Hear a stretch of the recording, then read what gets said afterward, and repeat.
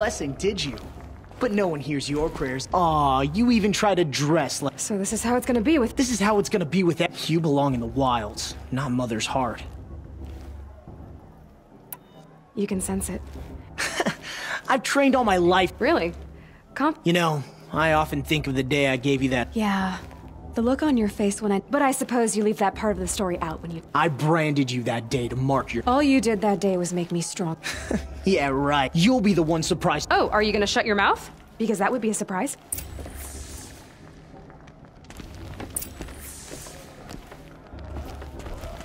Nice job handling Bast. That should. I don't believe we- Oh, I know who you are. The competition. The others, they'll finish, but win it? That's down to Bast, you, or. Nice to meet you, Vala. You're right. Never celebrate a victory before it's earned. Now, if you'll excuse me, I'm gonna get some. Your bunk's right there when you want. Okay.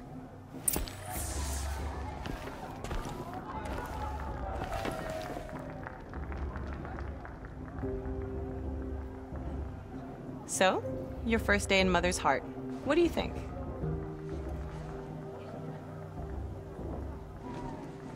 You've never slept in a Nora Lodge before.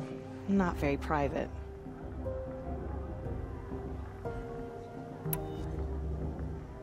Comforts and distractions. That's what I think. Not all comforts are bad. Comforts are weakness.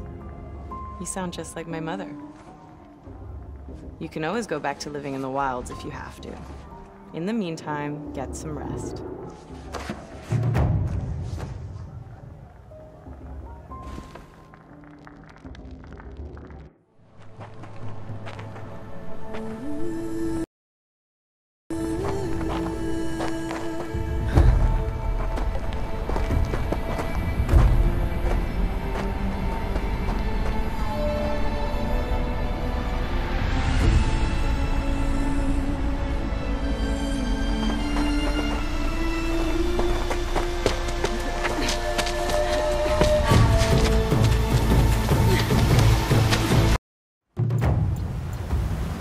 Razor!